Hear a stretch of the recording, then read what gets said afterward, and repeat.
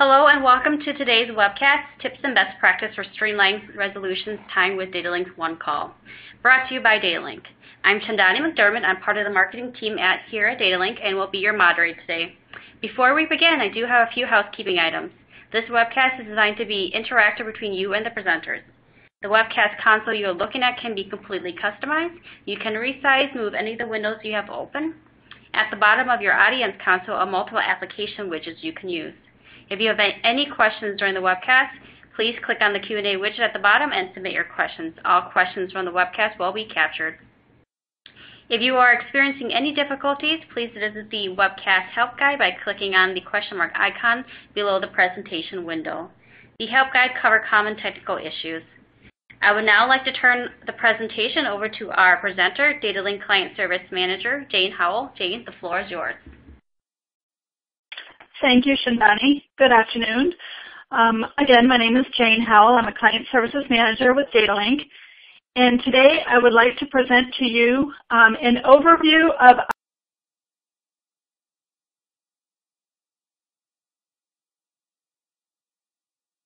our customer support organization, its capabilities, what we offer, our service levels, um, how we manage customer satisfaction, we also want to go over uh, an overview of how to engage with our team, how to be successful in opening a case, how to engage with our support team, how to escalate cases, um, and things like that.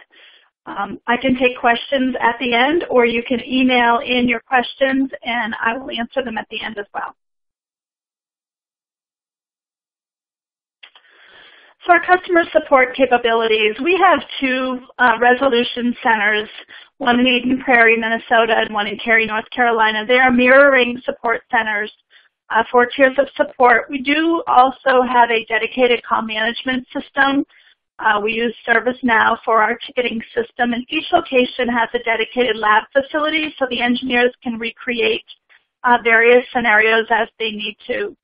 Uh, you'll see in a future slide um, what we do for customer satisfaction and how we measure the customer satisfaction, uh, but we do take um, some rigorous efforts to uh, maintain a, a, high level of standard for customer satisfaction. We also engage our field engineer resources as an extension of the support organization. Sometimes there are opportunities where uh, we need to uh, speak to the field team uh, to get a better understanding of uh, our customers' environments, and we do utilize those engineers uh, as an extension of that team. In terms of our manufacturer partnerships, we do have a, a specialized incident management process whereby we manage um, our customers' support cases, but when we do need to escalate cases, uh, we escalate direct to our partners' backlines. Um, we always uh, maintain high level of training courses within uh, those partnerships and also uh, we have regular performance reviews with our vendor partners. So we meet monthly, sometimes twice a month with our partners and um, always make sure that we have the most up-to-date information with respect to uh, escalation channels. Um, we review cases at times and just always maintain uh, excellent communication with our, with our vendor partners. You'll see on the screen here a snapshot of the vendor partners who we work with and who we uh, take the first call support for, NetApp being our top partner, uh, along with Veritas. And a most recent, a uh, couple of recent additions to our portfolio uh, would be Code 42 with CrashPlan, um, as well as Pure Storage. Uh, we also have a great relationship with TSANet, which is a cooperative support community. Um, and we also uh, have recently added Cisco uh, with our Master Cloud Builder specialization as well. So we're constantly growing this portfolio, looking um, and talking to new partners. Um, so this list is always growing.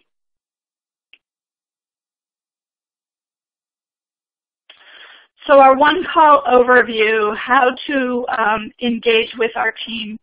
Um, our customers span all industries. You'll see here um, all, some of the logos of our top uh, customers and asterisks next to um, next to these logos would be those customers that are utilizing our unified support services.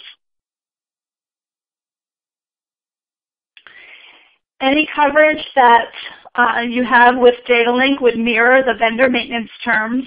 So if you have a 7 by 24 by 4 hour hardware response um, maintenance term, that is the, the, the coverage and the SLA that you would receive from DataLink. You also have access to our incident management portal. I will show you how to get access to that portal uh, in a future slide. Um, you also still maintain that access for uh, the management, the manufacturer portal for upgrades and firmware and, and anything that you need to be kept up to date with uh, respect to uh, the manufacturer as well. In terms of the unified support for the VDC infrastructure, we always want to be that single point of contact for the total solution. So we also offer the additional uh, triage for the VDC infrastructure, things like FlexPod, VSPEX, Vblock, et cetera. Some additional services that we offer, uh, and part of my role as well, is to execute customer care service reviews where we uh, go over incidents that have been opened over a given period of time, maintain that communication with, uh, with your team, the support organization, answer questions uh, that, that may come up, um, as well as continue to make sure that you um, know how to reach us and know our uh, most up-to-date escalation process and contacts. We also, uh, during those reviews, always ask if there are new folks who have joined the team to uh, make sure that those new team members have access to our, um, our contact information and our escalation contacts. We also have a complex incident management support uh, process whereby a member of our team, our technical account manager, uh, will overview the more difficult cases and, and bring in additional vendors if need be um, to help resolve the issues. So our service level goals, we have a lot of goals on our team and we, we track these goals uh, very carefully each month. Um, the top goal is around resolution. 90% of the calls that come into DataLink should be resolved by us, uh, where we we actually, you know, fix the problem. We're not just escalating to our vendor partners when the calls come in. We, you know, maintain a very, very high level of, of call resolution. And you'll see a little bit more um, in a future slide how that works. But 70% of the cases uh, should be resolved by our frontline team. So um, the engineers who are answering the phone are actually those who are resolving almost 70% of the cases. And 75% of the calls coming in should be answered by a certified engineer in less than 60 seconds. We call this our 75-60 SLA, a very important SLA so that you're not sitting on hold um, and you're you know, routed directly to an engineer who can help you. 75% of the P1 incidents are responded to in less than 15 minutes. I'll tell you the, the response rate on, on um, most of our cases is really about five minutes and re our resolution on those P1 incidents are, is uh, sitting at about 75% uh, should be resolved in under four hours.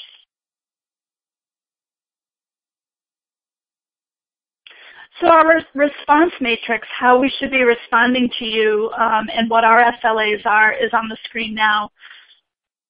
So we have priority level definitions in the center of the screen there, uh, P1, P2, P3, P4, and those uh, definitions are what our engineers uh, work towards when they're working with you to determine what that uh, priority should be when you open a case. And I'll tell you that this is very, very important with respect to the success of your case and how, um, how the case is managed. So you'll see the initial response in the grid as well as the active case updates uh, and observing case updates there on the priority. And again, it's based on priority. So it's real important that out of the gate when you open a case with DataLink that you set the priority and work with the engineer to jointly determine that, that severity or priority so that you know you're getting the best response, you're getting the updates when uh, you should or when you expect, and so forth. So um, you'll see those SLAs there in that grid. and I'll also say on this slide, um, we like to tell customers if, uh, if you know, let us know how you'd like to be communicated with um, when you do open a case. So we have uh, customer contact information in the system, which may include a mobile phone and your desk phone. If it doesn't, if we don't have your desk phone as a contact or your mobile phone as a contact, let us know how you'd like to be communicated with when you open a case so that the engineer knows and has, you know, has that expectation of, you know, if you're not going to be at your desk and you're going to be in the data center, for example, and you need to have, you know, have us call you on your mobile phone, let the engineer know that, or uh, let them know, you know, when you, if, if something changes and you're not going to be at a particular um, phone number. And also if you expect to be called versus communicated with via email, we also like to know that as well. Um, you know, any any sort of communication that you can have with the engineer around what your expectations are uh, with respect to communication uh, would be great, and that will also help to um, to resolve the case more successfully and, and move things along quickly.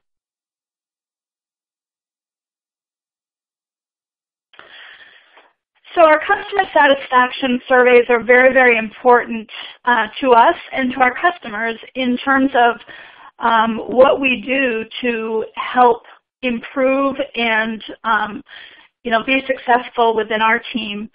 So we use a, a third-party uh, company called Service 800, and it is a service which um, will allow us to uh, deliver a 10-question survey um, customers are, are not surveyed more than once in 30 days, and you can certainly opt out of that survey if you need to. Um, but we do get a very high uh, rate of client participation because it is quick, but it's our way of ensuring that our customers um, you know, let us know how we're doing. And it's your opportunity to let us know if something didn't go as well as you expected. Uh, we do follow up on any issues that might arise. We call these hot sheets, and that is part of my job is to follow up with our customers and, and you know, iron anything out that needs to be ironed out or, or you know, just help to improve uh, a case if, if something was um, closed and it shouldn't have or, you know, things, if things, um, you know, need to be improved upon, we, we do take that, make that effort uh, during these surveys. These are tracked very, very closely. Um, and you know, we don't. Our engineers don't have a metric around closing cases each month. They don't have to maintain a certain number of case closure rate. Uh, their bonuses are even evaluated based on our customer satisfaction results. So we do take this very, very, um, very, very seriously. Some other resources that are available to you, um, like we're doing today, are Tech Tuesday events. Um, typically they are technical presentations that are delivered by um, our senior engineers, again, you know, third Tuesday of each month. They're usually around uh, new product releases or tips and tricks. We're always looking for new ideas on what to present uh, and what our customers are looking for. We thought we'd take the opportunity today to um, you know, tell our customers how to be successful in opening our cases and how to how to work with DataLink, but uh, typically they are uh, a technical presentation. You can always add members of your team at the uh, link in the center of the screen there, Tech Tuesday on Contact, um, and the event notifications will come from events at datalink.com. So we always, you know, we don't want things to go into junk mail. So if you want, if you whitelist events at datalink.com, you'll always receive our notifications. And like this webcast, all webcasts uh, are recorded in our library, datalink.com slash resources hyphen library slash tech hyphen Tuesday. We also have lots of other resources uh, around the data center, flash, and cloud in our resource library. And if there um, if there are ideas for other Tech Tuesday events, uh, we're always looking, again, for, for new ideas on what to present and what our customers are looking for. So feel free to email me at jhowell at datalink.com with, with ideas that you may have. So our engagement process, how to um, open a ticket and work with our team. So our contact information is there at the top of the screen. We are, again, a 24 by 7 support resolution center. Our phone number, 1-800-291-3230. Um, we always ask that if you have a critical ticket to please call. Um, you will get an engineer very, very quickly. Again, you know, 75% of the time, within 60 seconds, you'll get to an engineer um, who, you know, can, can help you. But um, we do ask that, you know, for critical tickets, please uh, call for, for immediate uh, help. You'll see on the right side of the screen there your selections that you can make um, for a SEV1 case. You can uh, get into the SEV1 line. Uh, you also have the option to make uh, selections based on backup and archive, storage devices, DDC, or managed services. Excuse me. We do have uh, email and portal as another option to open a case. Again, you know, SEV 2, 3, 4, um, use, use email or portal. That's our recommendation. Support at datalink.com is our email, and you'll see on the screen there the portal, uh, portal web address.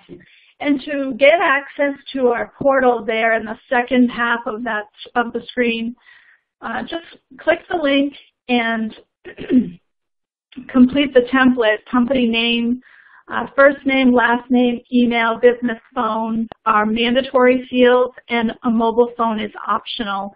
And we have the new user registration request form uh, picture there uh, on the right.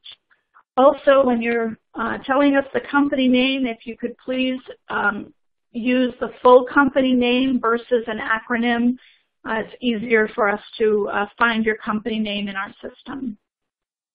And then once you have access to the portal, you can track any incidents, open tickets, close, communicate with the engineer um, on any of the tickets, and really be proactive uh, and track the support cases through each phase of the process.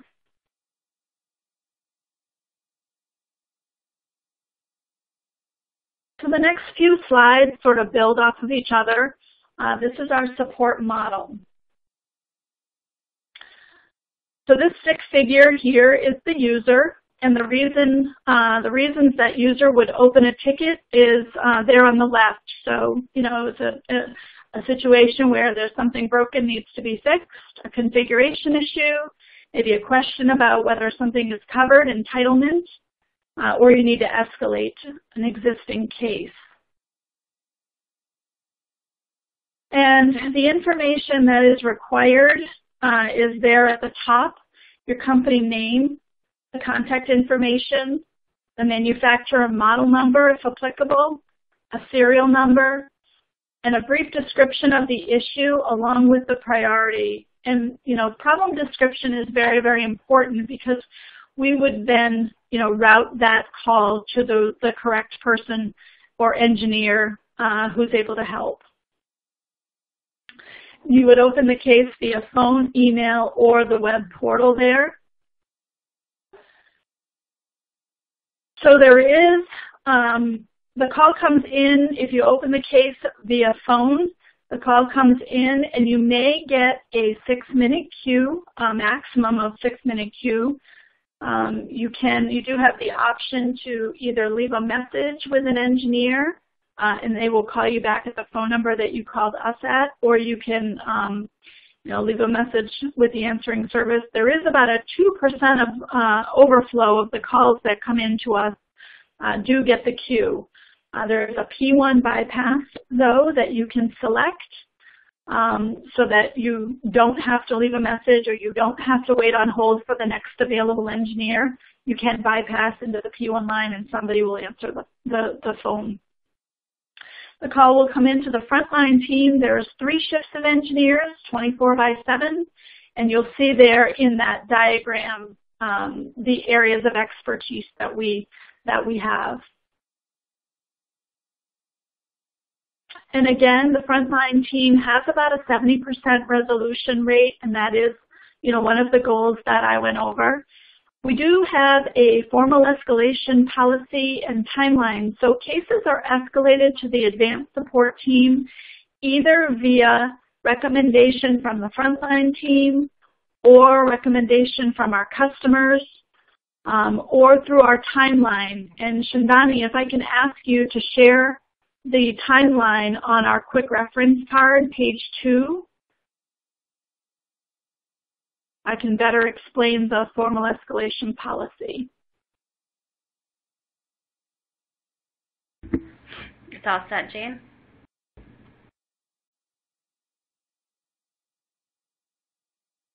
I don't see it sharing. There you go. Perfect. Okay, great. Is there a way that you can make that bigger?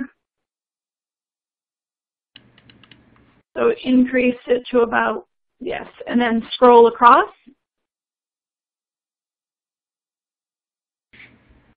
So you'll see there, um, and everyone will have access to this quick reference card as a downloadable um, in this presentation. But um, for the purpose of this, so we have a formal escalation policy that's built into ServiceNow whereby based on the priority, again, there's the priority and, how, and the importance again, but based on the priority of the ticket, we have notifications that are built into ServiceNow to improve the communication between the engineer and our customers.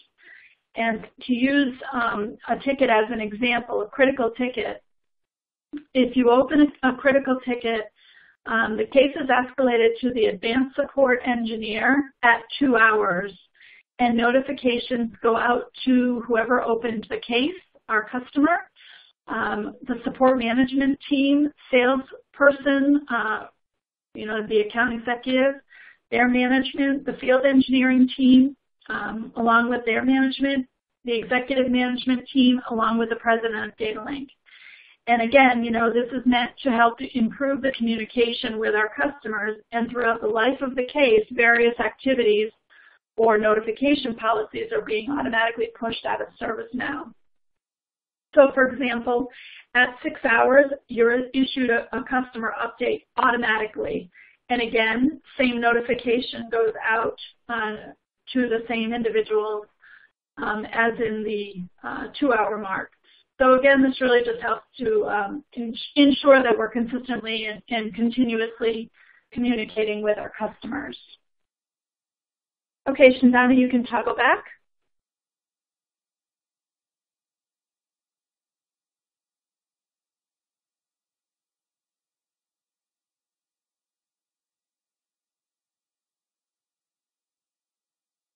Thank you. So Chase is um, then sitting with uh, the advanced support team. Again, 24 by 7, uh, three shifts of advanced support engineers as well. Uh, and they have, um, you know, similar or the same, I should say, expertise around monitoring, security, et cetera. Uh, their resolution rate goal is about 90%. It, we're, month over month, however, uh, even though the goal is about 90%, month over month, our resolution rate is, is north of 90%. We do track, again, uh, track that metric very, very closely. Um, so tier two is the advanced support team, and tier three is the, the uh, field team within DataLink or our vendor support. So if the advanced support team uh, needs to escalate to our vendor partner, that would be tier three. And again, they escalate direct to the back line. We also may engage the field team, uh, DataLink's field engineers to help assist, but there's also uh, tier four uh, with our on-call resources. There's always somebody on call within customer support, advanced support, support management. So you know, our customers are never without um, the ability to reach somebody. So in summary, there's three ways to reach us, phone, email, or web portal for tiers of support. We use a skill-based call routing system where based on your description, uh, the call or the case is get it gets routed to the correct engineer. and we have our service levels that are defined. So in talking about escalation, uh, for a minute, you do have three paths to escalate a case. Um, you can stay within the customer support organization, you can reach out to the regional sales organization, or you certainly can call uh, our corporate headquarters.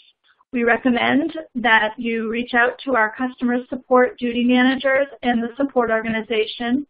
Um, you will also uh, see on the quick reference guide when you download that, and Shindani, you certainly can um, toggle back to that quick reference card and I, I can talk about that, the support contacts. While Shindani is doing that, um, so the escalation path, um, we recommend that you reach out to the customer support organization if you need to escalate a case. Um, so there in the center of the quick reference card, you'll see our phone number. You'll also see the escalation distribution, one call mgrs at datalink.com. That distribution encompasses all of our support managers that are listed in the center there. Mike Spraylick, Anthony Delsinor, Chris Sang, Jim Bush, um, all the managers along with Jack Sparks, our Director of Customer Support there in the bottom right. Um, they're all listed within that distribution. So if you need to escalate a case at any time, you can escalate uh, using the one call mgrs at datalink.com uh, distribution and your, your uh, request will get answered very, very quickly. Um, also there down below you'll see the client services managers, my contact information, Jane Howell, along with uh, Zoe Reyes, uh, one of our other uh, client services managers on our team. Okay, Shindani. And again, this, uh, this quick reference card is downloadable. So the automated workflows, um, I talked about that already with respect to how the, the notifications are pushed um, on, on various incidents. And again, you know, yes, the, the incidents are escalated um, throughout the life of a case based on time frame and, um, and priority. You'll also want to whitelist datalink at service-now.com. This will allow any communication from the case um, to uh, stay out of your junk mail.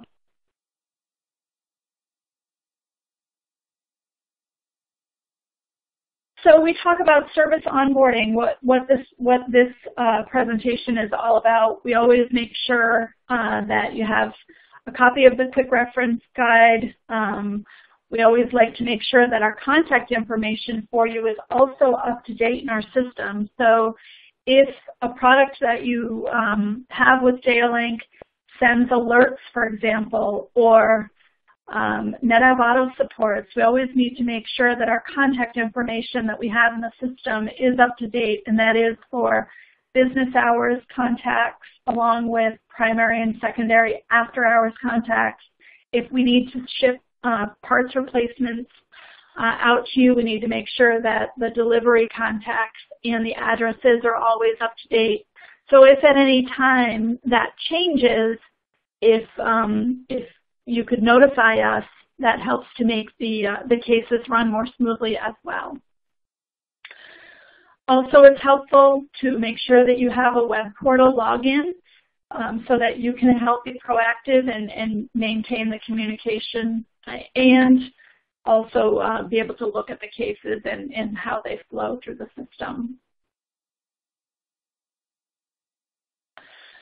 So in summary, the benefits of, of one call is we have you know real-time support. There's always somebody who is certified who can respond to your call. Um, the incidents are routed directly to an engineer who has the capability uh, to answer the call and uh, begin to work the case. They're always monitored. Um, we do have a very uh, good process in place with respect to ServiceNow uh, so that we continuously monitor the cases.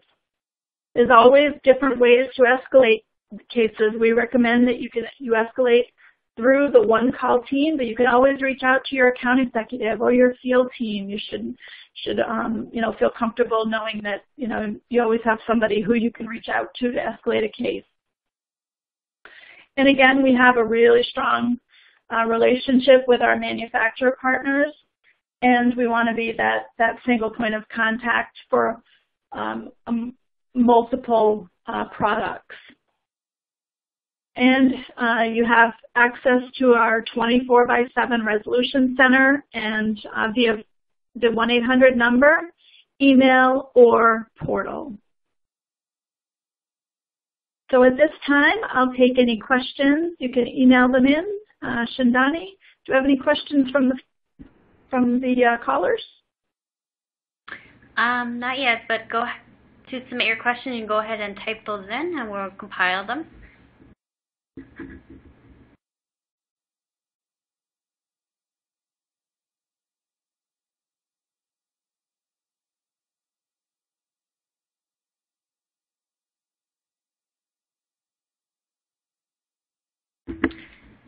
Right. Um, I'm not seeing any. So with that, um, should we give everybody their 30 minutes back, Jane? Okay, thank you very much for your time today. And if you have any questions, you can email me directly, again, at jhowell at datalink.com, and I'll be happy to answer them. All right. Thank you, Jenny, for presenting. Thank you, everyone, for attending today's webcast. An on-demand version of this webcast will be available two to three days um, from this webcast. You'll also receive an email notification when it's ready to be viewed. Thank you again um, for participating. Have a good day.